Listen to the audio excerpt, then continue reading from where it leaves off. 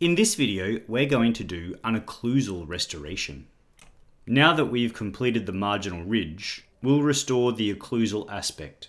We'll restore two cusps simultaneously in order to reduce the C factor.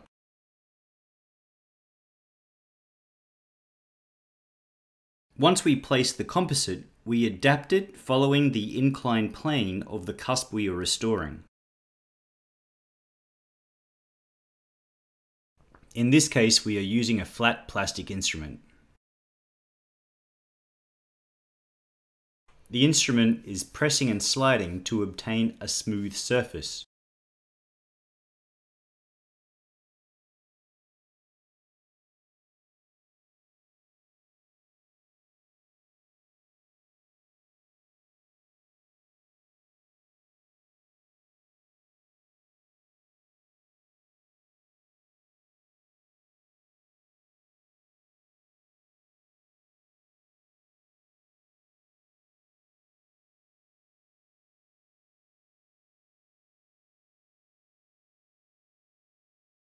With the side of the instrument, press on the buccal accessory fissure.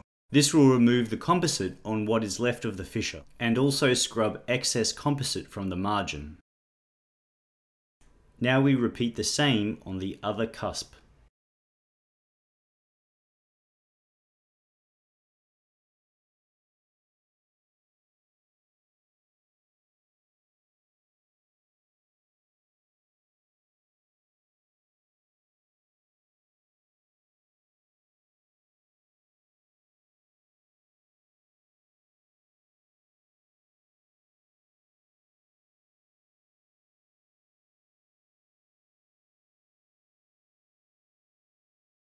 Now we're ready to cure it. Now we continue with the opposite cusp.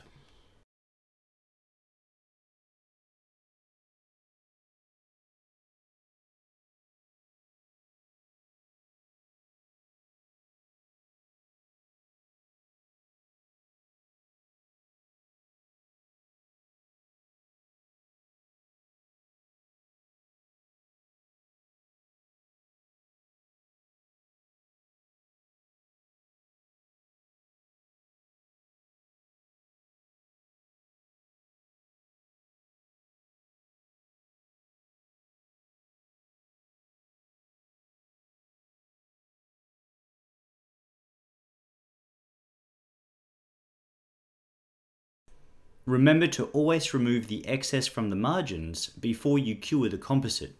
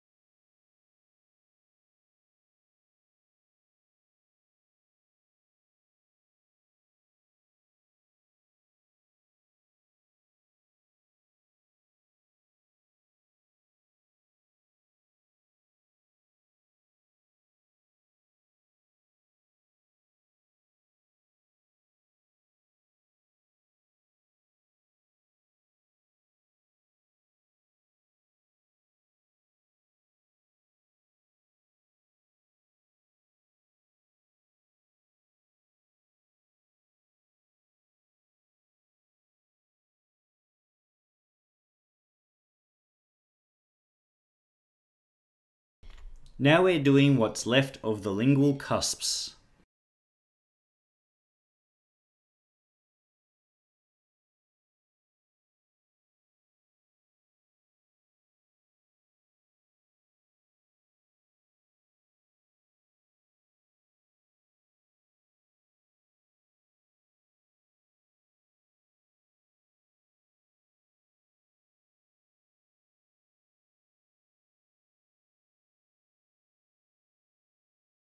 Now we're doing what's left of the inclined planes of the buccal cusps.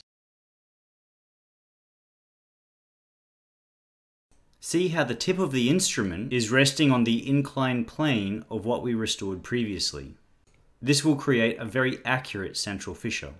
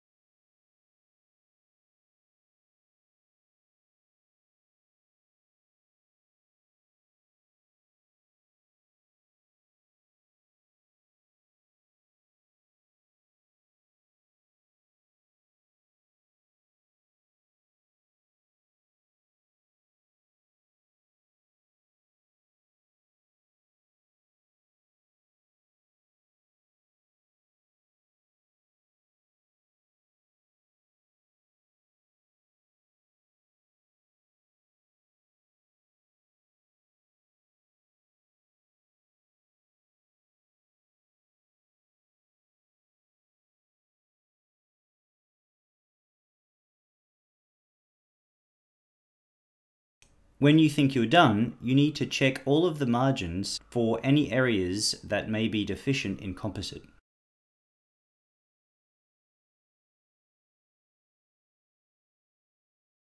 Uh-oh, here we found a margin that's deficient. Here I've just scooped a little bit more composite onto the flat plastic and we'll add a bit more composite.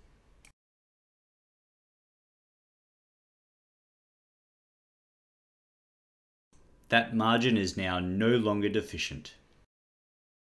It's important that you find this before you polish the composite. Otherwise you'll have to add bond, because polishing removes the inhibited layer.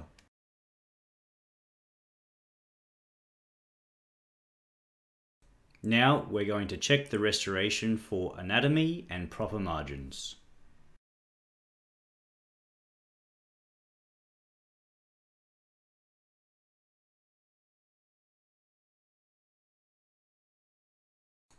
So now we're going to check with the probe what we're going to recontour and polish, and we'll do that in the next video.